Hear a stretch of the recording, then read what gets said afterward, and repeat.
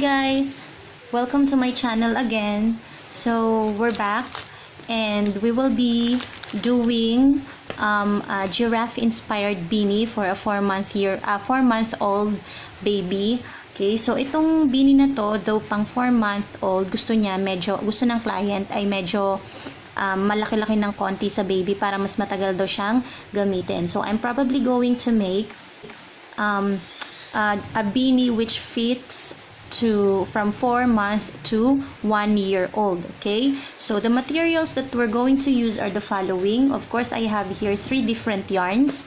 So these three are all in the fill okay? So I have a light yellow. Medyo nag-iba lang yung kulay niya sa um, video because of the camera effect.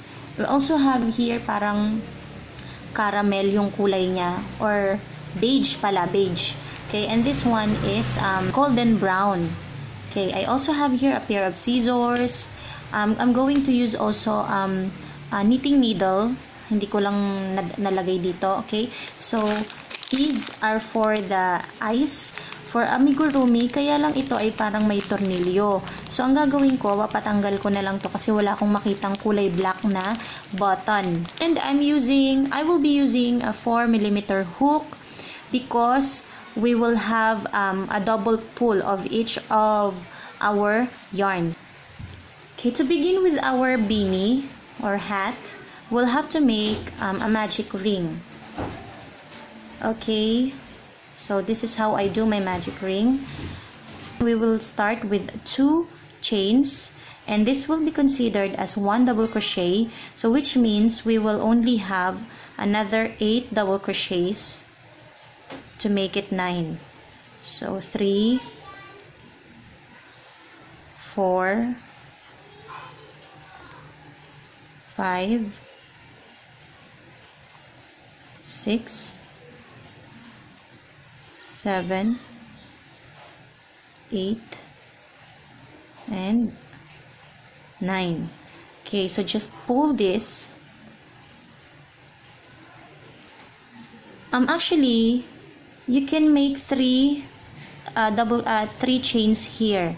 Most of the time what we do is we just um, have two chains or three chains which is which is equivalent to one double crochet. But for me I often make two chains bakit kasi yung three chains minsan equivalent siya ng one double crochet. Minsan ang laki ng butas dito. So kan kanina tinry ko yung three chains kaya lang hindi ko gusto. At least ito medyo okay siya kumpara dun sa tatlo. Okay, so I have now 9 um, double crochets. 1, 2, 3, 4, 5, 6, 7, 8, 9. So let's just slip stitch on the second chain from the first one you made. From the first double crochet. Okay, so meron na kayong ganyan. Hilahin nyo lang para mawala yung butas dito. Okay, and make another two double crochets and then we will leave this space. We will move here on the second one. So two. We'll have to make two double crochets on each of the on top of each um, double crochet. So two two two two hanggang sa makarating sa dulo. Okay so yung unang double crochet nalagyan na natin ng dalawa yung pangalawa, ay lalagyan ulit natin ng dalawa. Okay. So, this is the third. One, two, three.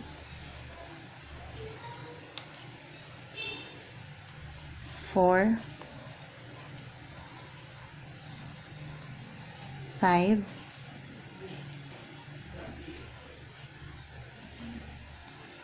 Six,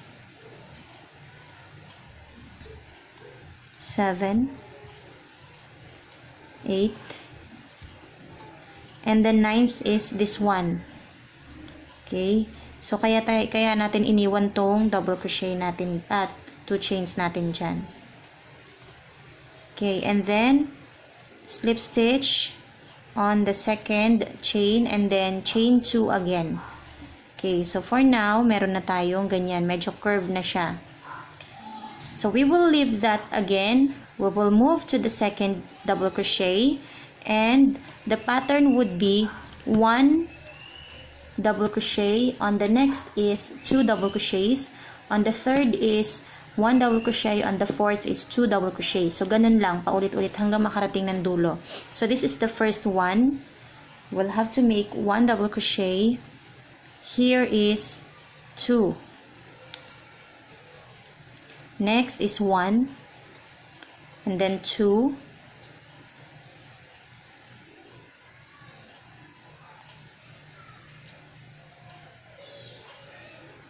Okay, I'm going to repeat this.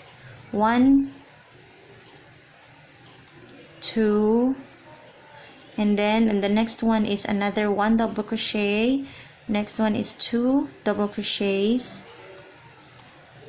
So, ganun lang po ang gagawin nyo hanggang sa marating nyo yung dulo. Alternate lang. One, and then two, one, two and then slip stitch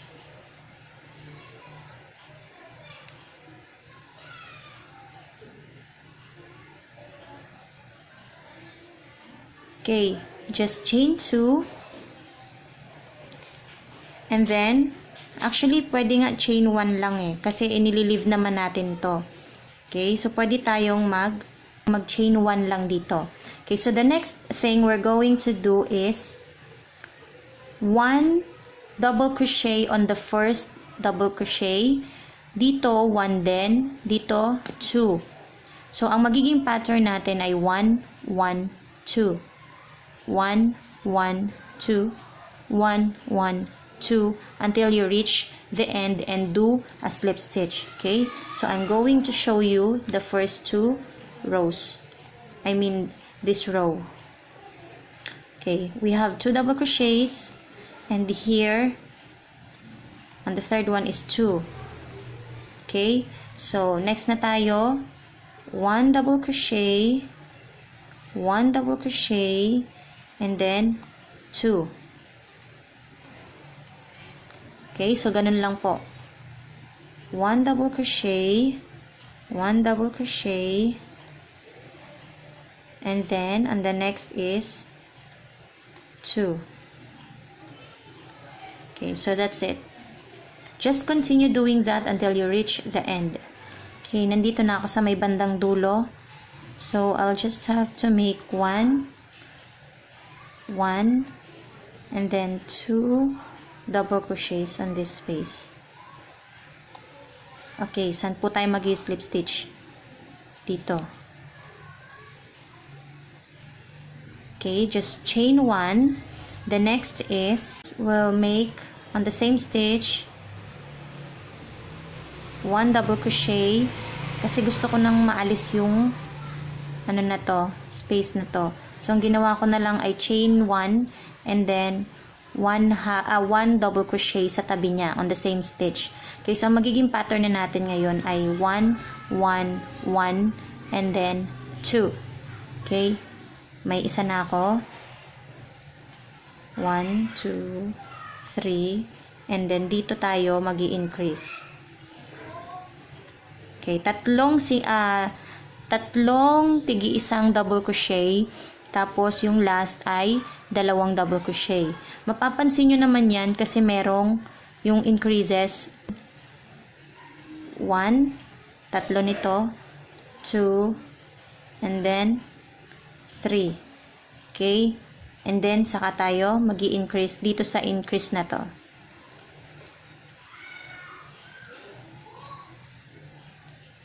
Okay. Just continue until you reach here. Nandito na ako sa dulo. So, 1, 2, 3, and then dalawa. And then slip stitch dito. Ano ang purpose ng chain 1? para lang po maiwasan natin yung space dito. Kasi tingnan nyo kanina, may space siya. Ayoko nung may ganon. Okay, so that's why I decided to go back to my usual way of um, slip stitching and then kung ano yung mga susunod na stitch. Okay, so dito, oh, wala siya masyadong, ito itong area na, uh, it's because of the um, chain 1 that we did. Okay, so dito, nagka-chain 1 na ulit tayo. On the same stitch, we will have 1 double crochet. Okay, so kung kanina, tatlo, yung nag-iisang double crochet nat, nagtigi-isang double crochet natin, ngayon, nag-iisang double crochet naman sa apat na magkakasunod na double crochet. So, paano yon 1, 2, 3, 4. Okay, so 4 consecutive um, double crochets. So, on the fifth one, we will have, ito yung may, uh, may increase kanina. So, we will have 2 double crochets. Okay, so I'm going to show you one more time. So, 1, 2, 3, 4. Yan yung double crochet lang na tigi-isa. Dito sa fifth, we'll have um, two double crochets. By the way, we are now on our sixth row. 1, 2, 3, 4, 5, 6. Okay, kaya dapat makabuo tayo ng anim na double crochets dito. Yung pang-lima, dun tayo mag increase magdadagdag ng pang-anim. Okay? So, 1, 2, 3, 4, 5, pang-lima na to. So, we will add or we will increase on the same stitch. Ayan. So, meron na tayong anim na double crochets. Okay, so just two exactly as what we did. And then, slip stitch here. Okay, so on our sixth row, ganito na yung magiging itsura ng ating um, hat or beanie. Okay, so nag-slip stitch na po ako. We'll just chain one. On the same stitch we'll have a double crochet. Okay ang gagawin naman po natin ay one double crochet on five consecutive um, double crochets on top of double crochets. So, ang magiging ano natin, nasa 7th row na tayo. So, makakagawa dapat tayo ng 7 double crochets. On the 6th one, we will increase para maging 7. Okay? So, 1, 2, 3, 4, 5, 6. So, increase. 7. Okay, one more. 1, 2, 3, 4, 5, 6, and then increase on the same stitch. Okay, so just do the same thing. Okay, so ito na po. 7th row. 1, 2, 3, 4, 5, 6, 7. We'll have to make another row. So, chain 1. And then, another double crochet. So, ang gagawin naman natin ngayon ay 8 double crochets. Yung pattern ay 8 double crochets. Pero, yung 8 um, double crochet ay magiging increase lang siya. So, on the seventh double crochet, that's where we place our eighth, eight double crochet. Okay? So, pat parang katulad lang kanina. One,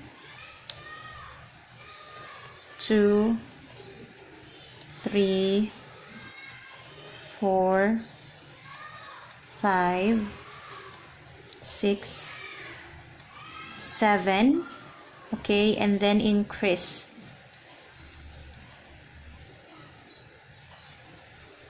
one. Two.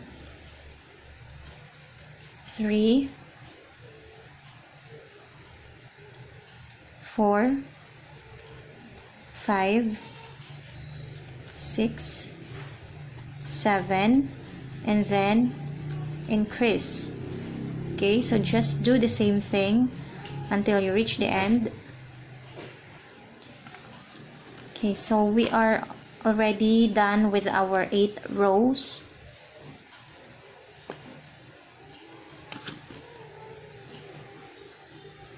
So, kunwari ito yung ulo ng bata. Ayan. Because I am using um, double crochet here, I think this would be enough kasi lalaki naman yung itsura nito kapag ka nadagdagan na natin yung rows.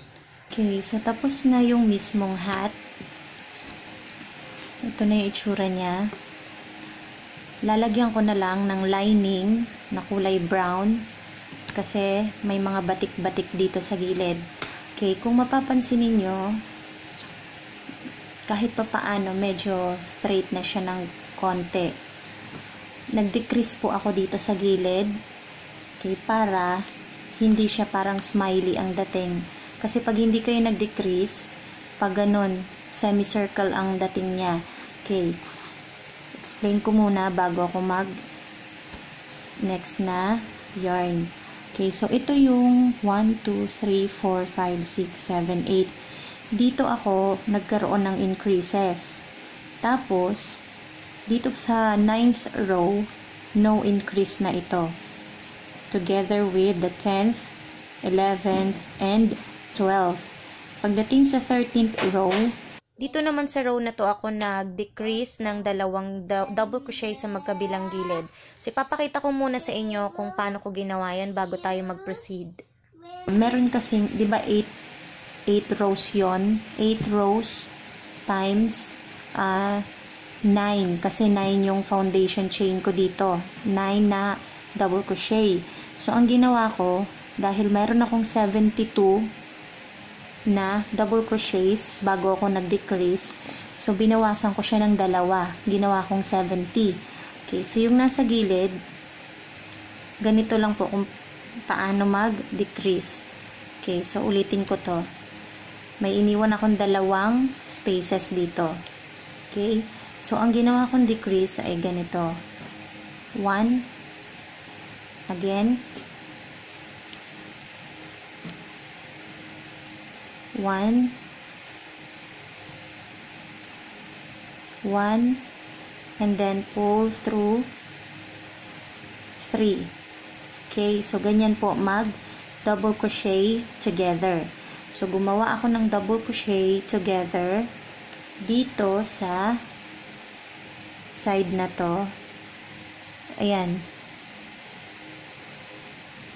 Yan yung double crochet together ko.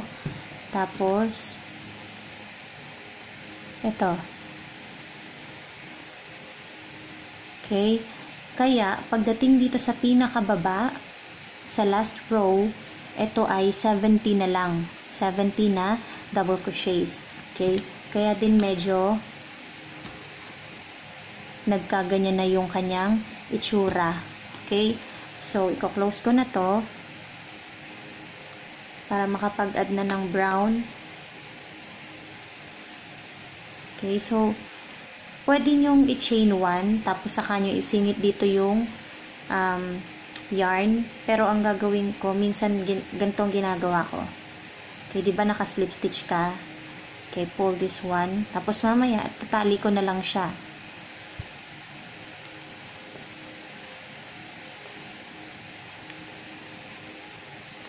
Okay, and then, chain one. And then single crochet all the way. Okay, so I'm done. Slip stitch na. And then cut your yarn. Pull this. Okay, so you can weave this end later. So, para ito, ito banda sa may nose ng giraffe. Okay, so the same thing, you just have to make a double, uh, a magic ring. Okay, by the way, I'm changing my hook from 4 mm to 3.5 mm. chain 2 and then make 7 double crochets including the two chains. One two three four five six let's make another one.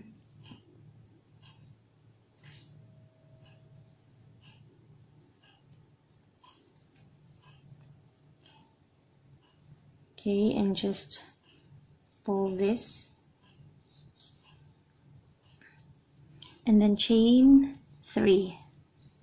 Okay so we're almost doing the same thing with what we did here okay but the difference is just we're making a semicircle. Okay so we'll have to make um two double crochets in each. Okay the same thing with what we did here. Okay so I have here three chains. I'll make two in each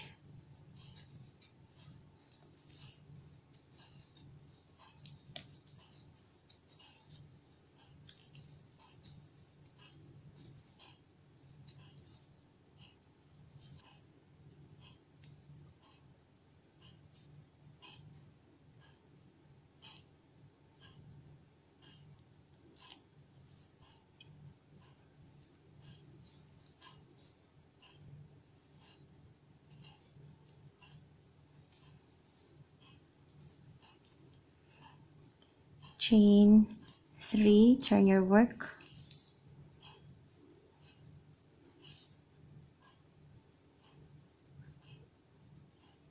Ang gagawin ko po ay 1 2 1 2 1 2 katulad nitong pangatlo.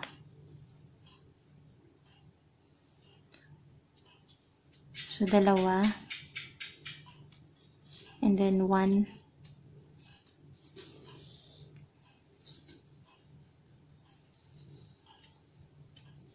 and then two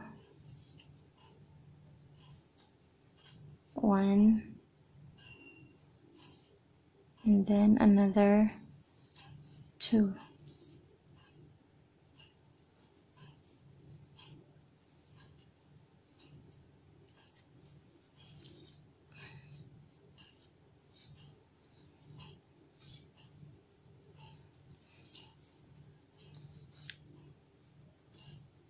Okay, kailangan natin gumawa ng mas malaki. 1, 2, 3.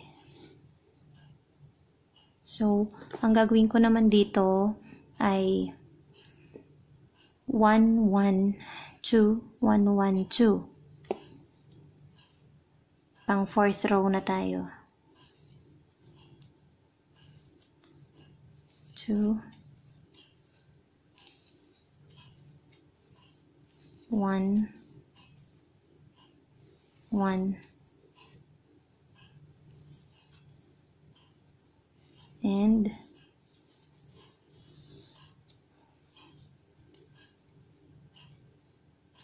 two. Okay just just repeat that pattern until you reach here. Okay so natapos na natin yung bandang bibig ng giraffe. Ang, gagaw ang ginawa ko po dito ay 6 rows of double crochet kung paano nyo ginawa yung rows dun sa bini ninyo or sa hat, ganun din po dito. Okay? So, um, six rows lang po ang gagayahin natin sa hat. And then, dito naman sa baba ay naglagay ako ng tig 2 single crochet sa ilalim. Okay? So, ngayon, ang gagawin naman natin ay yung nose. Dito sa nose, ang gagawin lang ay sisimula natin with a magic ring and in the magic ring, gawa lang po tayo ng 6 or 7 na, sing, ah, na half double crochet. So after that, pwedeng 6 para hindi ganun kaliit, pwede ring 5. Wag pag 7 kasi medyo malaki na. So ito na po, nakadalawa na tayo. Just slip stitch kung natapos ninyo yon and then pull the end. So here's your um, nose. Okay, so I will end the first part of this video. Please watch the second part para malaman natin kung paano gagawin yung para sa tenga at yung sungay.